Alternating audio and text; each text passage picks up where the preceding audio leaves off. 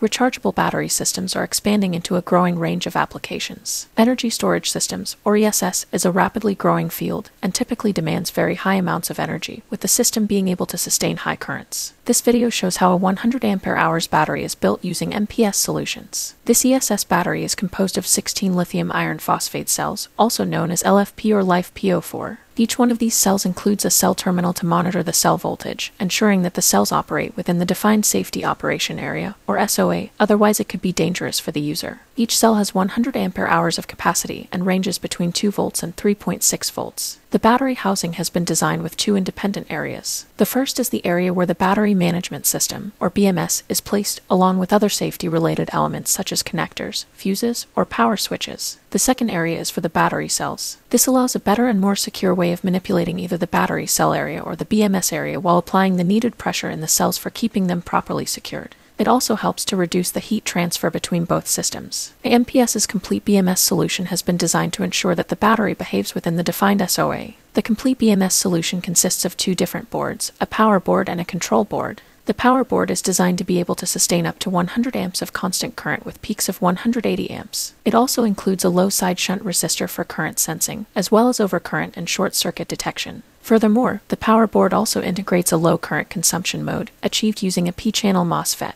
The control board can be considered the brain of the entire system. It includes the MP2797, an MPS battery monitor and protector, which senses all of the cell voltages, currents, and temperatures for both fault analysis and external fuel gauge calculations. The MP2797 directly controls the FET's protections thanks to a high side driver that can control all FETs on the power board.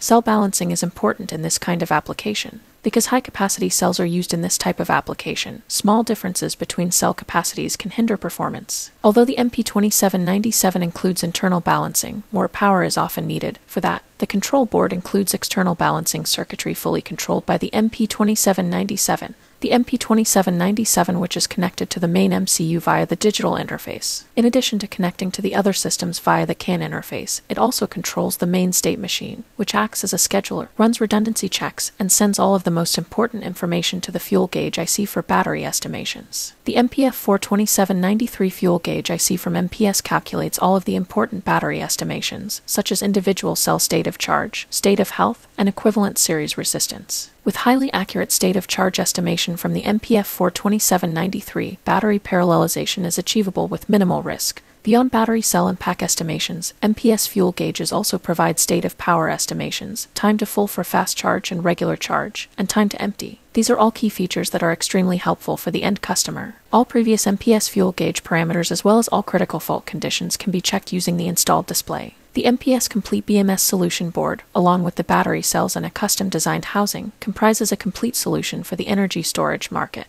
To learn more about MPS battery management solutions, visit monolithicpower.com. Like this video and subscribe to our channel to get the latest on our innovative new products.